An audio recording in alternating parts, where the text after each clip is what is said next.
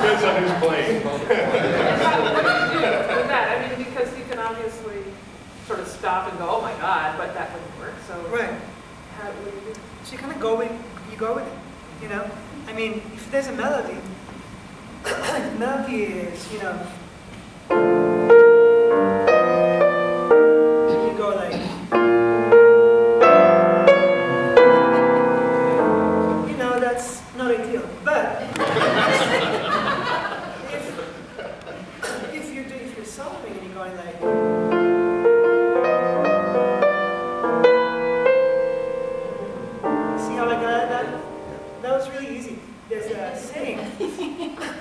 You're never more than a half step away from glory. That's, Yeah. one of the mistakes I make all the time Mhm. is over minor chord forms, minor sevens, Right. minor seven, flat five. I'll hit the major third, or Mm. I'll be playing, I'll hit the major third, it sounds awful. How do you get out of it? Well, first you have to be loud and proud. So,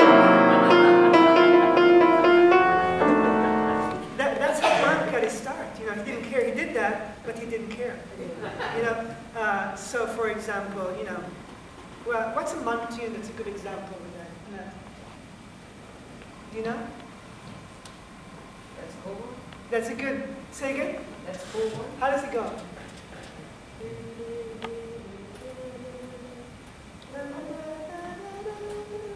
Okay. Um, let me let me think of one that I actually know. Um,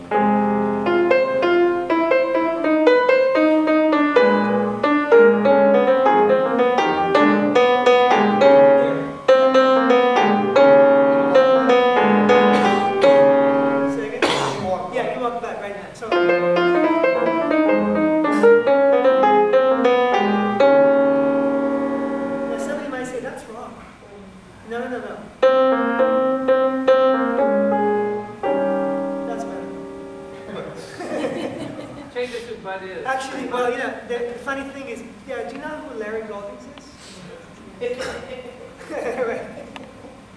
So Larry, uh, do, do, uh, now, do you know the name of the uh, alter ego that he created? Hans Reuter?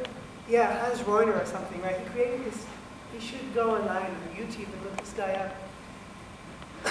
um, basically, he um, made like a mockumentary, you know, where he's he's being interviewed. He's this German scholar, music scholar.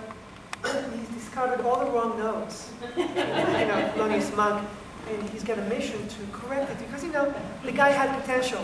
right? So it's like, you know, I just discovered that I corrected all the right, oh, all the wrong notes. So now instead of this,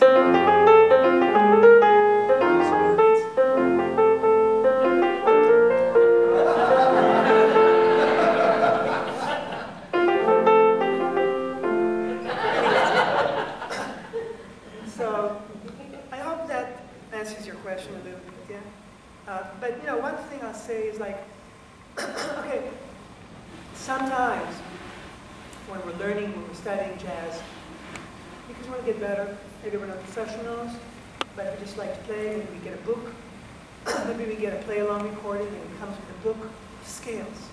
We go, ah, great, the Holy Grail has arrived, you know? And you practice those scales and the thought, mm, know. But yet somehow, you know, when you sit down solo and you go, uh,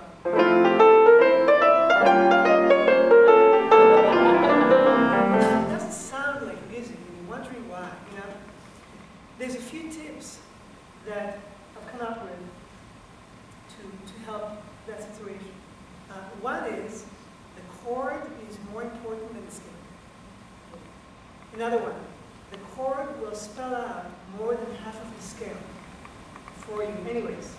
So use your ears and figure out the rest of the scale for that. Another one, don't play the whole scale. All right? So those are just like some suggestions, not to say that the other way is wrong, but for example, if I play a solo, right, and uh, let's say that it's on a song, take the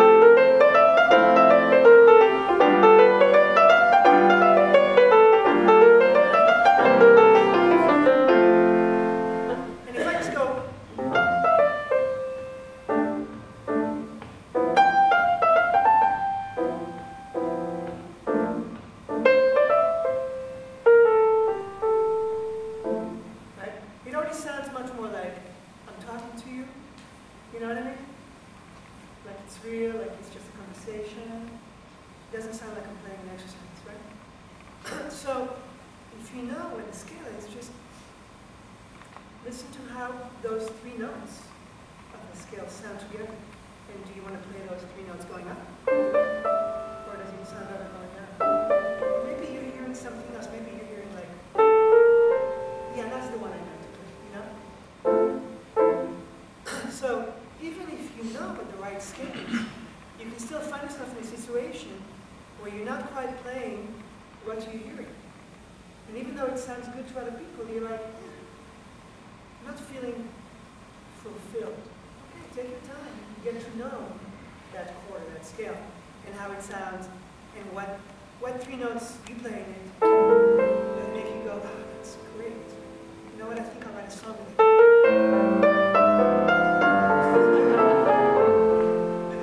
you know, so, uh, but, uh, like harmony, right? So we talk about falling in love with the melody and learning now harmony. So like to do that, that's our chord.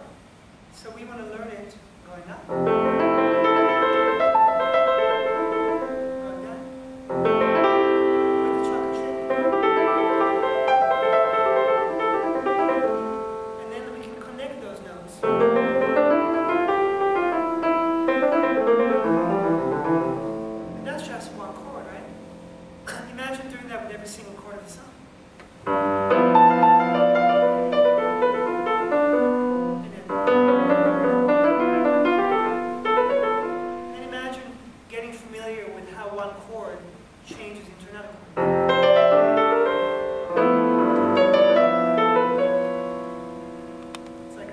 little, of an accent in this one.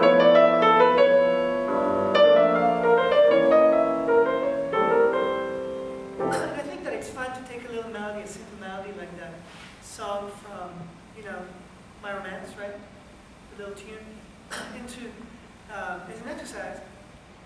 It's kind of a fun game to get to know that little melody throughout the whole song, with all the chords and the way that they change, because you're learning two things at once. You're learning the melody the chords of song.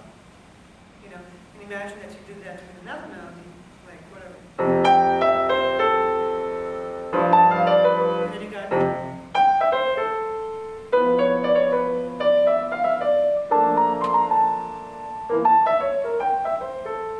That can be the beginning of a solo, you know? So, um, because sometimes we can get into like, oh, you know, I love Evans, and I've studied 100,000 recordings, and I've played all the transcriptions, but when it's time for myself to make up a little solo, I just don't know what to do. So if, if you have a little three-note melody, and you just get to know that, that, that means it's easy enough that you can really learn it over the whole song. And the only thing you have to pay attention is that you're not cheating yourself by, by skating over the part that's a little tricky, like the bridge that goes in the key of E.